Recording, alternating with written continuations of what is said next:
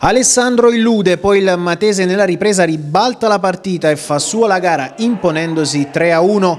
Ad avvio gara un minuto di silenzio per ricordare Piero Americo, collaboratore della Vastese scomparso in settimana, padrone di casa in campo con il lutto a braccio e con Capitan Di Filippo che ha deposto un mazzo di fiori sotto la curva d'Avalos. Giornata di dolore anche in casa Rete 8 per la scomparsa della moglie del nostro operatore video Edoardo Daddario, a cui vanno le nostre sentite condoglianze. Passiamo alla cronaca nei biancorossi rossi che vengono da nove risultati utili consecutivi da Derio si affida al solito 4-3-3 tornano Corticchia per Monza e Alessandro per le Noci. Nei campani che vengono da quattro risultati utili consecutivi, Corrado Urbano schiera anch'egli un 4-3-3. Le due squadre partono al piccolo trotto, la prima occasione dei padroni di casa al minuto 22, Ceccacci in acrobazia conclude, tiro respinto da un difensore in maglia verde. Al 34esimo la Vastese passa in vantaggio con Alessandro, il numero 10 si fa trovare al momento giusto nel posto giusto e con un tocco morbido sul primo palo. Batte un incolpevole del giudice, questo il replay, messa male la difesa ospite, tutto facile per il fantasista bianco-rosso che sigla la sua dodicesima rete stagionale. Al 42esimo si rivede finalmente il Matese con un colpo di testa di Congiu, la palla finisce di poco al lato.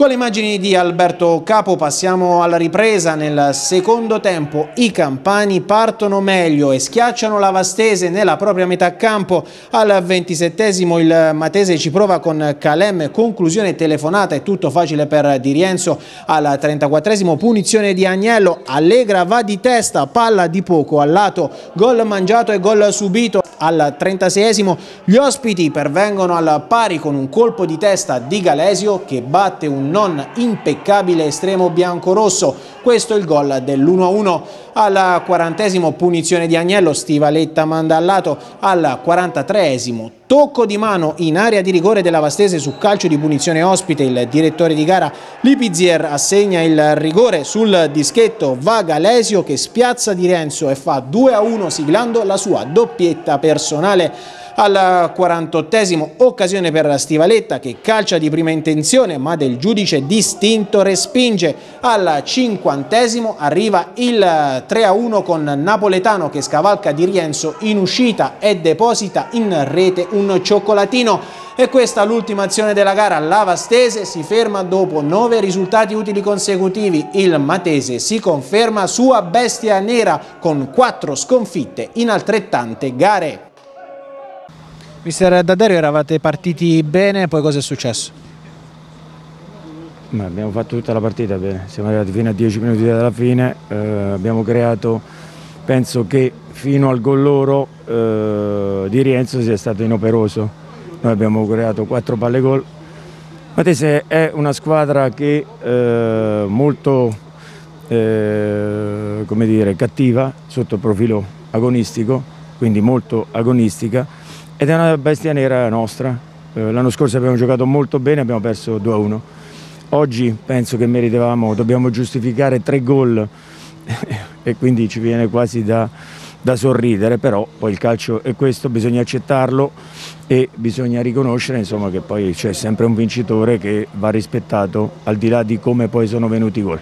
Due episodi da Moviola, uno nel primo tempo poteva starci un rigore per voi, poi invece è stato assegnato un rigore per loro, se li vuole commentare.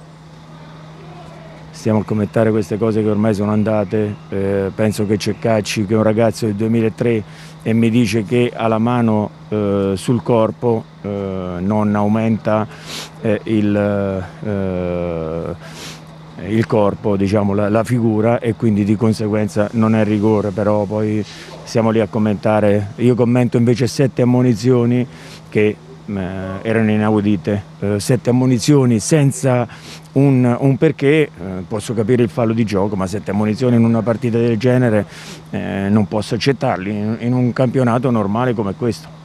Mister Corrado Urbano, il Matese si conferma bestia nera della Vastese, negli ultimi due anni la formazione biancorossa non è mai riuscita a vincere contro eh, la sua squadra, soprattutto un grandissimo secondo tempo. Sì, diciamo il primo tempo è stato equilibrato anche se loro hanno avuto più il pallino del gioco e sono passati meritatamente in vantaggio. Secondo tempo po' per, per, bravura nostra, un po' forse perché loro si sono abbassati un po' per, per scelta, non lo so. E siamo riusciti a guadagnare campo, siamo stati molto pericolosi, siamo stati bravi a, a sfruttare le nostre, le, nostre le nostre, occasioni.